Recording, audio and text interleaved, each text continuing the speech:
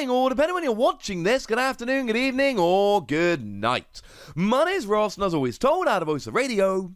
So today, it's time to catch up on some news from the Pokemon trading card game. There are some exciting things afoot, and something which is frankly just a little bit confusing.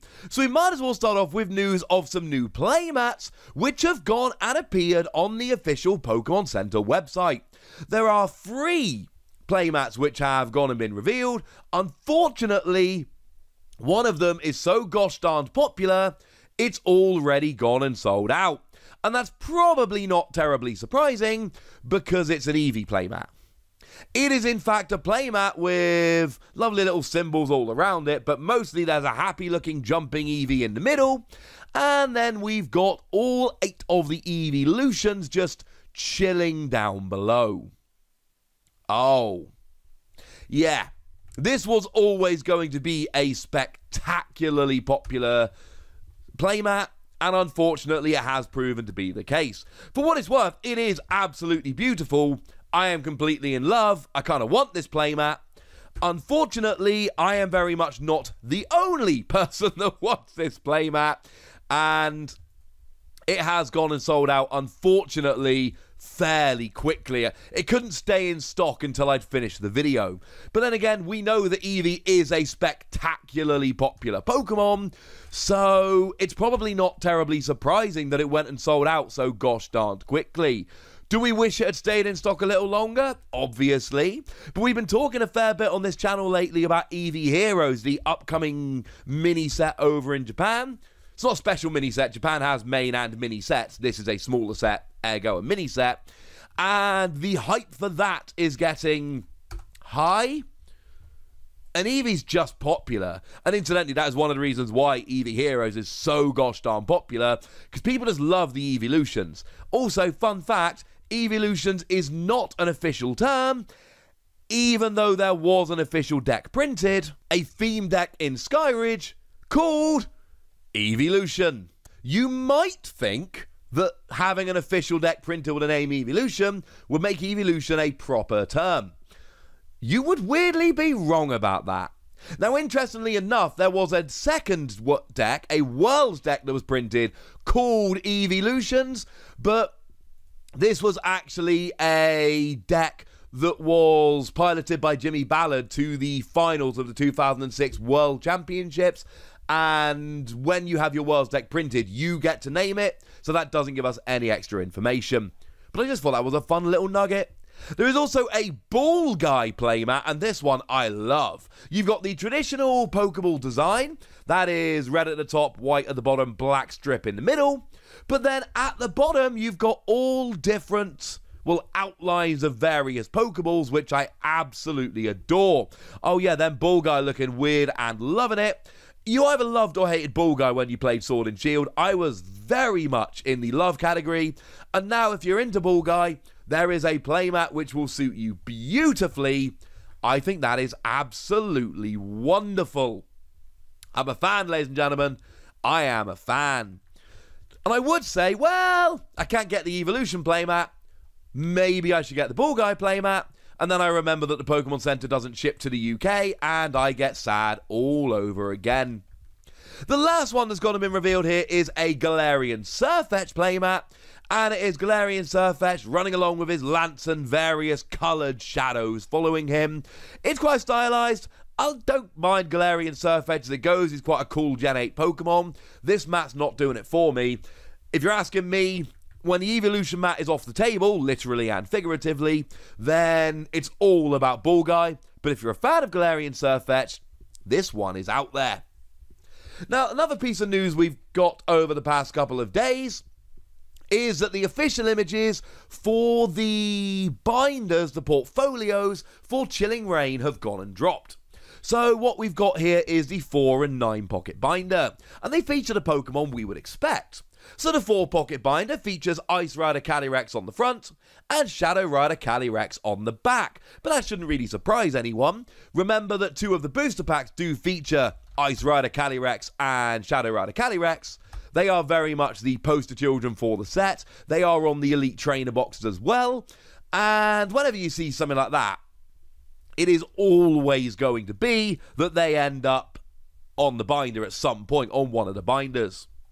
And then, of course, because the binders generally tend to mirror the booster pack art, that means that the other binder features the Galarian birds. Now, you will notice it's a little bit weird here, because, of course, generally speaking, we have four pieces of booster pack artwork, two binders front and back, it works perfectly. Here, we actually have five pieces of booster pack artwork. So you can see on the back of the nine pocket binder, Galarian Moltres and Galarian Zapdos, they've got a share. They don't get their own front or back. They are sharing while Galarian Articuno gets the entirety of the front. Feel free to be upset about this, incidentally. Feel free to be very sad that they're not getting their own and that you know, maybe Articuno shouldn't have got the front. But actually, I'm looking at the artwork and they're all good cards, so I'm cool with it, ladies and gentlemen. I have no real objection. But if you want to go and pick them up, they're going to be coming out around about the same time as Chilling Reign. So if you're looking for new binders for your cards, there's options, ladies and gentlemen. There's options. And then the last thing I wanted to have a little bit of a chat about today was Shauna. You see, the other day I showed you that Shauna was getting a reprint. And I explained to you why Shauna getting a reprint was a pretty big deal. It's another option at supporter. It's going to be here for longer than some of the options we've got at the moment because it's got regulation mark E. It's been gone for a while. So getting this card back is really kind of cool. The thing is, there are knock on effects whenever we get cards back. And one of the knock on effects is that this full art Shauna card has all of a sudden become pretty sought after indeed. There is a shop over in Japan that is buying full art Shauna, and this is buying, this is not the sale price, this is the price they are buying it for. Purchase information, limited quantity, strengthened purchase, 100,000 yen purchase. If you don't mind, be sure to cross the main street and please bring it to us. They are buying this card for 100,000 yen. And then, of course, we got the obvious question of he? What is 100,000 yen in terms of American or English money? And what we've got here is 650 pounds or 920 US dollars. This is a thousand dollar card. Apparently, overnight, this has become like a thousand dollar card. And again, that is the purchase price, so he's selling it for more than that. Now, obviously, the, the first answer here is well, it's legal now. Shauna rotated out a little while ago. Now Shauna is back in the Pokemon TCG, and now that it's legal, some people are going to want the best version of it. And this is the best version of it and this is a very popular card. Now, if anyone's wondering, in Japan it was actually in the Best of X and Y mini set. Over here, it was actually in the Premium XY collection. That is a collection that gave us a whole bunch of full arts and then two booster packs. And I always remember that it came with exactly two booster packs, and that still weirds me out. But that was one of the full arts we got in that set. If you didn't get that set, like me, you should have regrets because that was an amazing set. And I know it was expensive at the time, and I didn't buy it because it was expensive at the time. I have regrets, ladies and gentlemen. I definitely should have bought it at the time. But I suppose this is how we learn. So it wasn't exactly a card that was out everywhere. It was in a mini set over in Japan, and they generally get smaller printings than the main sets. Over here, it was only in that special collection. I've not heard it going crazy over here yet. Maybe it will in the not too distant future. But I do just find it very interesting that all of a sudden, Full Art Shauna has just gone absolutely nuts. And it is gone for that much money. And the thing is, as much as I love Shauna as a card, I played a bunch of Shauna.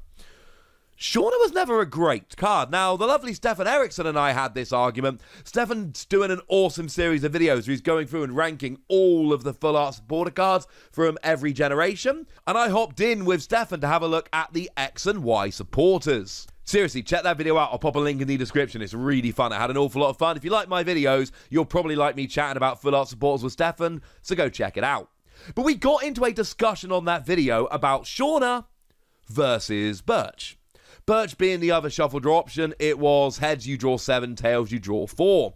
Now, assuming 50 50, as in an unweighted coin. Mathematically, Professor Birch is the better option because on average it's something like five and a half cards you'll get off Birch and five you'll get off Shauna. So Birch is mathematically the correct option. But that's not all there is to it. I was always a fan of Shauna because I would rather have the guaranteed five than the chance of slipping down to four. That didn't make me happy. Weirdly, since that happened, a bunch of people have come out and basically said, Why do you even care? That was never an option. And I feel I need to remind you guys at this stage that N actually rotated out at one point before getting reprinted in Fates Collide. In 2016, we rotated to X and Y on, which actually rotated all of the different prints of N that we had at the time. And when Fates Collide came back, then yes, absolutely, we got a reprint of N and everything was fine and we all went to N. But there was a period of time where there were a bunch of tournaments where N wasn't legal, and essentially we all had to choose Shauna or Birch. Mathematically, Birch was the option. I hated the coin flips. I always felt like I flipped tails more than heads, which I know is ridiculous, but I, I wanted Shauna. I wanted the guaranteed five because there were too many games where I'd flip tails on Birch and it would just wreck me. Whereas Shauna, I knew what I was getting. So there we go. So Shauna is back. Nowadays, of course, we have a bunch of better options. So Shauna may or may not see a huge amount of play. But the fact of the matter is, the full art version of it is going absolutely crazy nuts. And I thought that was worth having a chat about. But now, ladies and gentlemen, it's over to you guys. I want to know what you think about these playmats. I want to know what you think about these binders. I want to know what you think about Shauna going nuts. So let me know in the comment section. Go nuts. Be nice. And then make sure you like this video, subscribe to this channel, follow me on Twitter at the Wasi, and Twitch for some live action at twitch.tv slash PTCG Radio. If you want to support the channel, get some bonus podcasts and all that good stuff, head on over to patreon.com slash PTCG Radio, where you can do exactly that. But by far the most important thing as always, look after yourselves till next time, would ya? Thank you very much for watching. My name's Ross, and you've been watching PTCG Radio.